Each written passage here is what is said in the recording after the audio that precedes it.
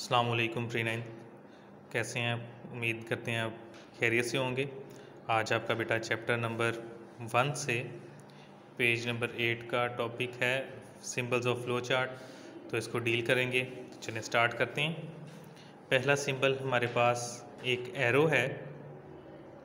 इसको flow line बेटा बोलते हैं। It is used to determine the flow of steps in a flow chart ये फ़्लो चार्ट में स्टेप्स के फ़्लो को मुतन करता है कि किस सिमत फ़्लो होगा।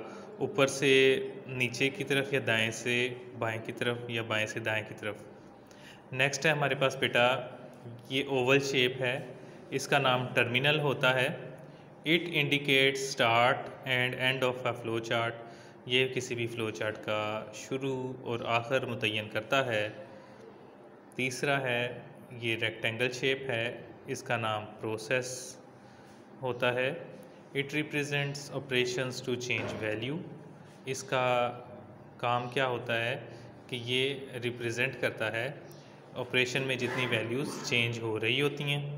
तीसरा बेटा ये डायमंड शेप भी कहलाता है, इसको डिसीज़न का नाम दिया जाता है। It shows a conditional operation that determines which one of two parts to take ये ये बताता है कि किसी ऑपरेशन में कौन सा पाथ सेलेक्ट करना है, अगर किसी जगह पर येस और नो का मुतन करना ज़रूर हो तो आप डिसीज़न मेकिंग को इस्तेमाल करते हैं। The operation is commonly yes और नो क्वेश्चन और आर ट्रू और फॉल्स टेस्ट तो दो ही सूरतें होती हैं येस और नो या ट्रू और फॉल्स किसी स्टेटमेंट के लिए। तीसरा ये एक पैरेललोग्राम टाइप है, इसे इनपुट और आउटपुट के लिए इस्तेमाल करते हैं, नाम है इसका input output it indicates the input of data from user और displaying result to user. ये इनपुट करते वक्त शो करता है यूज़र से डाटे को और जब आउटपुट किसी रिज़ल्ट को करता है। लास्ट पे हमारा है बेटा ये सर्कल जिसे कनेक्टर कहते हैं। If a flow chart does not fit on a page अगर कोई फ्लो चार्ट एक पेज पे मुकम्मल ना हो रहा हो then we use connector to connect parts of a flow chart तो तब हम इसको इस्तेमाल करते हुए एक पेज को दूसरे पेज से जोड़ने के लिए फ़्लो चार्ट में इस्तेमाल करते हैं।